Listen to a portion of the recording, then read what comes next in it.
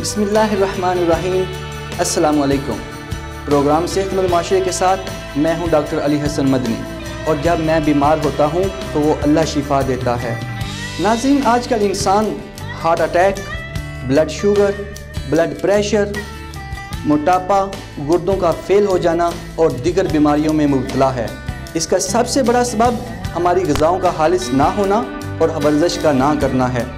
इस प्रोग्राम में हम आपकी मुलाकात करवाएंगे पाकिस्तान के मशहूर मरूफ और तजर्बाकार प्रोफेसर डॉक्टर से और सुनेंगे आपकी लाइव कॉल्स और देंगे आपके सवाल के जवाब